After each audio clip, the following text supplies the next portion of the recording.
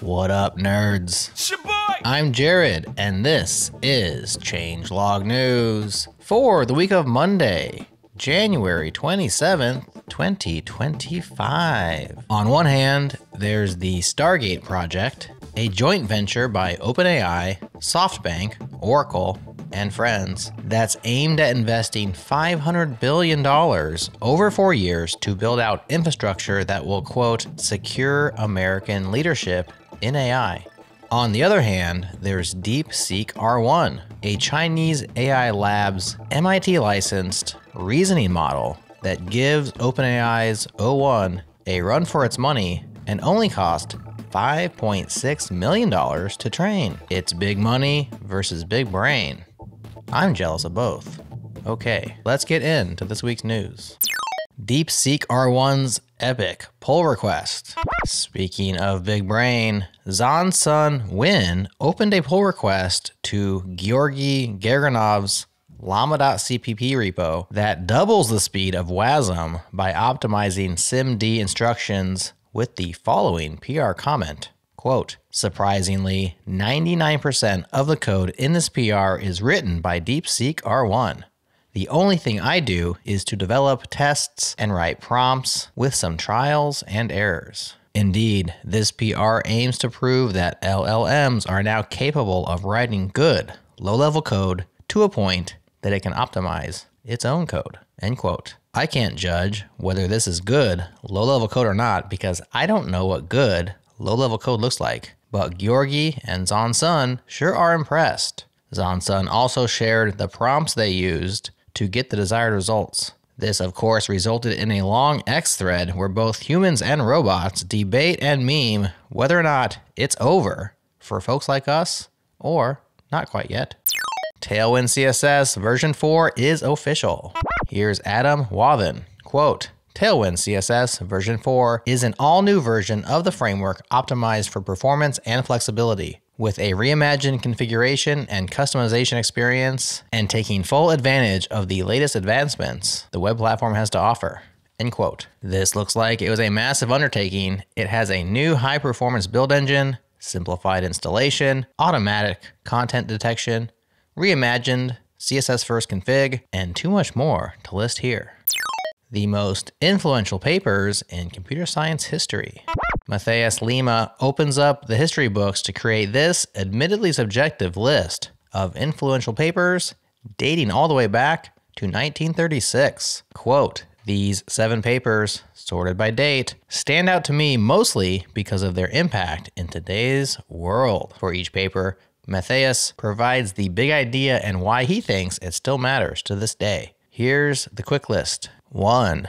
On computable numbers with an application to the Entscheidungsproblem by Alan Turing in 1936. 2. A mathematical theory of communication by Claude Shannon, 1948. 3.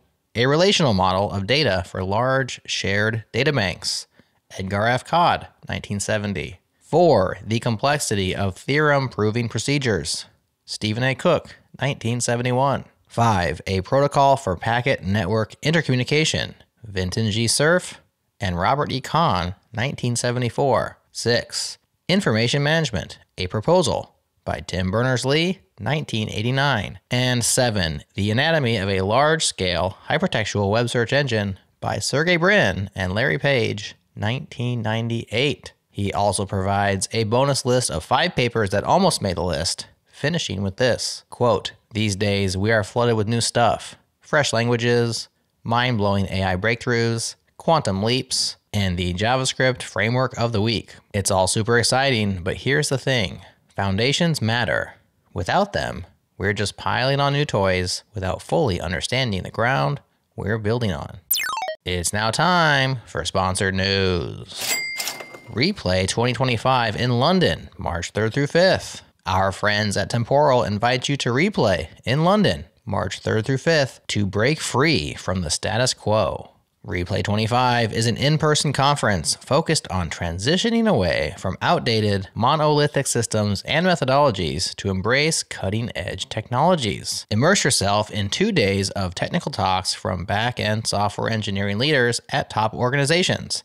Then enjoy connecting on day three at the after party. Live it up, connect, and continue conversations with food, drinks, and fun alongside your replay community. Early bird tickets are on sale now. Early bird pricing ends January 31st, which is right around the corner, so get your tickets soon if you plan to attend. Learn more and register at replay.temporal.io. AI is creating a generation of illiterate programmers. Namanyay Goel has a confession to make. Quote, a couple of days ago, cursor went down during the ChatGPT outage. I stared at my terminal facing those red error messages that I hate to see. An AWS error glared back at me. I didn't want to figure it out without AI's help. After 12 years of coding, I'd somehow become worse at my own craft. And this isn't hyperbole. This is the new reality for software developers. End quote. He doesn't think he's the only one who's become a human clipboard, a mere intermediary between his code and an LLM. Quote, we're not becoming 10x developers with AI, we're becoming 10x dependent on AI. There's a difference. Every time we let AI solve a problem we could have solved ourselves, we are trading long term understanding for short term productivity. We are optimizing for today's commit at the cost of tomorrow's ability. End quote. Does this sentiment resonate with you? If so, see also a linked recent paper on metacognitive laziness. How to improve work from home lighting to reduce eye strain. Russell Baylis is not an ergonomist or optometrist. He's just a worker from homer who is susceptible to eye strain, eye pain, and dizziness. In the linked post, Russell shares what he's learned about optimizing home lighting to reduce eye strain. Here's the quick list 1. An even, diffused lighting environment is the best for the eyes. 2. When it comes to light brightness, too much is just as problematic as too little. 3. Use natural light wherever possible. 4. Quality of artificial light matters. Five, the best lighting for camera is not necessarily the best lighting for ergonomics. And six, even the perfect lighting environment will fatigue you. Take breaks and take care of yourself. Click through to see renderings of the changes he made to his environment and steal some of these ideas to improve your work from home life just like he did. That's the news for now, but also join the 23,000 bright, incredibly good looking people who subscribe to our companion newsletter for even more news worth your attention, such as you probably don't need query builders, a great primer on Kalman filters, and build your own AirTags with OpenHaystack. Get in on it at changelog.com slash news. In case you missed it, last week we published two great shows. Ashley Jeffs on going from open source to acquired, one listener called it very funny and a great guest choice plus interesting story. And of course, we had Fall Out Boy, I mean, Fall Through Boys, Chris Brando and Matthew Sanabria joining me on Changelog and Friends to discuss tools we're switching to, whether or not Go is still a great systems programming language choice, user centric documentation, the need for archivists, and more. Find those in your feed and look forward to this week when we are joined on Wednesday by Glauber Costa to talk about Limbo, a complete rewrite of SQLite in Rust, and on Friday by Dan Moore for an It Depends style conversation on modern auth strategies. Have a great week.